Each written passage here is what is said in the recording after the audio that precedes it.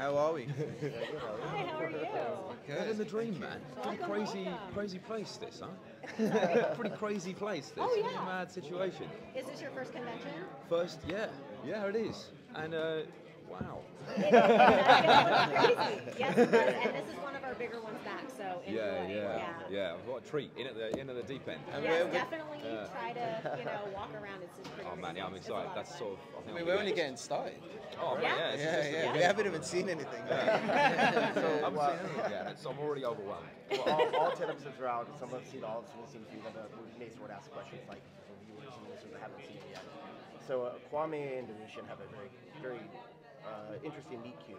And um, and uh, Kwame seems immediately intent upon, um, you know, taking uh, revenge. You know, immediately on Domitian. Yeah, yeah. Are we going to see some more confrontations between the two of them in the later episodes? Um, possibly, possibly, possibly for sure. I mean, at this point, Kwame's main goal is to get as close as he can to Domitian, um, then see what he can do with, with in that moment. Um, he definitely has something out for him. Uh, he does want to hurt him really bad and has a very bad relationship to him. And it's the eyes. He hates his eyes. I don't see. I mean, uh, It's I don't the eyes. It's I don't know. As soon as he saw your eyes, he was like, "Yeah, that's the guy." That's happening. Yeah, yeah, yeah. I think, yeah. you know, in the same way, like I think Domitian is, uh, in the same way that you look at me and you're like, have him, Yeah, yeah, taking him down. I think I, I feel Domitian feels, not me obviously, Domitian feels the same way about you, I'm afraid, mate. yeah. Uh, so yeah, I think I think you can expect things to amp up. Is all I'll say about it. yeah, yeah. So does it seem like the world expands in the second season? You know all these people now. Is it more epic in scale? In the second season. Yeah, I was going to say, I think we I only just finished the first one, she's pushing it into Oh yeah, yeah. I was like, wait, do you know Sorry something? about oh that. She's manifesting. Yeah, yeah, Yeah, yeah, yeah. I was like, yes, please. Oh, I We love want that. a second season. Can I blame it on not having coffee yet? Yeah, Yes, yeah, first season. absolutely. Tell me. Um, yeah, I mean it's it's it's Roland Emmerich, so it's expansive and it's huge, and the world that we that he created is. I don't know. To speak for both of us here, more, I think a very, it's a fun playground, and Yeah, it's, yeah. yeah, it's a big, big world. It's a big world with with so many characters who kind of give you the chance to explore different sides of the Roman Empire. You know, him being the the son of the emperor, me being a, a slave who gets into the gladiatorial world, and then you have the charioteers, and you have the people who kind of just run the streets of Rome. So it's quite fun that you get to see like different levels of of life, you know, different walks of life in a way. Um, and that was all obviously created by Roland and, and Robert Rodat, who kind of this is why I really like the show. We've seen Rome many times, but this has kind of given us a different look on what really goes down in, in, in, the, in the dirty underbelly. I think one of the really exciting parts of it is that it's like it is obviously huge, huge in scale, and, and a lot of what Roland does is, is take these massive, expansive things, and then he's also got this incredible eye for detail. So there's also like he zooms in on tiny, the tiniest little moments in a really interesting way, and I, I think that's part of what makes the series so cool. I, I have a quick question. The goal of your character is to get his sisters back, and I, the one thing I thought was a little nebulous to me, at least when I was watching it, is this. I'm assuming your characters or your family's from Northern Africa. Did they ever actually say where and what specific language are you speaking? So that's the thing. When you look into the North African history, a lot of it was kind of well, they say lost. Um, that's what they say. But Okay. we know there's a different story to that. Um, but when you dive in into North Africa, North Africa was like a whole ensemble of which now is basically Libya, Morocco, Algeria. So it was a very much a very concoction of, of a place. And what split them up was the tribes. You know, there was different tribes speaking different languages.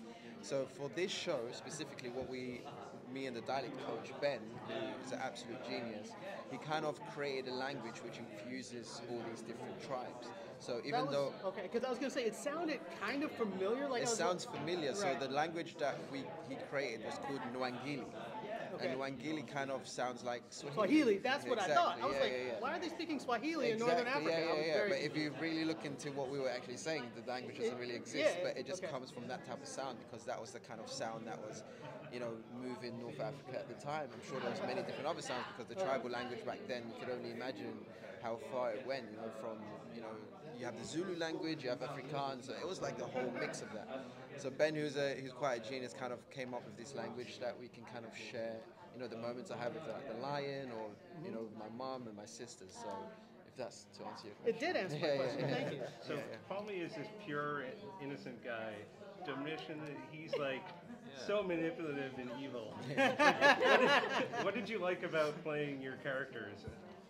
Um, I mean, come on, it's pretty fun to play a bad guy. Let's be honest. Um, yeah, I mean, he's, he's not a particularly nice guy. I, you know, I got to watch it, uh, started watching it for the first time at the same time everyone else did, and uh, instantly I was like, oh, blooming heck, man, I can't remember being this nasty. He's, real, he's, a, he's not a nice guy.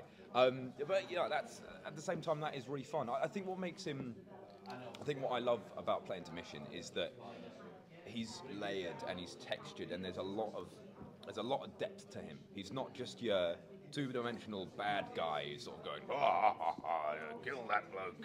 Know, there's, there's a lot of stuff going on, and it was really important to me to like sort of start from him as a kid and build up. How is this this boy growing up in an, ins- in an insane position that no one can really relate to in a time that was 2,000 years ago. And then you look at him when he's uh, historically an emperor um, later on uh, in his life.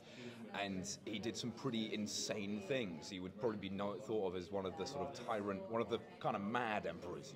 Um, and, it was important to me to be like, how, how does it has to be real? It still has to feel real um, to, to like a modern audience. And I think that's I think I got there by sort of going through those layers and building him up, which made him super fun to play. Mark. I mean, when I was reading the script and I was reading about Kwame, I felt very sorry for the kid, man. I said, oh, this guy's just going through it from day one. Every time he thinks he's got a way out, his sisters are involved in something now, so he feels responsible that he needs to take charge. And then when he tries to do the right thing, his mom's like, why did you do this? And he goes, I did it for the family. And she goes, oh, you stupid boy. Like, you know, like, he he just never can get things right.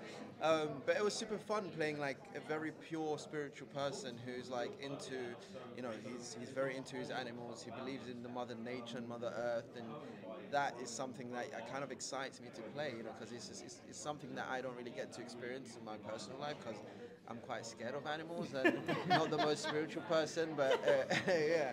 Um, but it's also cool to have a character like this, especially in the Roman Empire and in this show where everyone's trying to do each other over. So it's nice to just have just a kid who's just very genuine and trying to do the right thing. And yeah, it was that's that's, that was my take on Kwame. And let's do one last question. I have a question. If you were a Roman deity, which one would you be, what would you be the god of? Uh, me personally or Domitian? You personally. Oh. um, I'll probably I'll try and you know, I'll try and take it away from an actual Roman god. Uh, uh, modernise it a little bit. Love to be a sort of deity of uh, you know, basically keeping it real, chilling out, having a good time, and relaxing. You know, I'd, I'd be That's the the, god of wine. That's the. Yeah. yeah, well, Bacchus, yeah. Yeah. Well, Bacchus, that's a bit more. That's a bit more. He's a bit more party. That's sort of party Yeah. animal. I'm not. I'm not saying party. I'm talking about more like you know, hanging out, Bacchus chilling on the sofa, Yeah. Bacchus relaxing. Yeah. taking the load off, man. Uh, yeah, yeah. There's sort of chill, chill, chill Bacchus.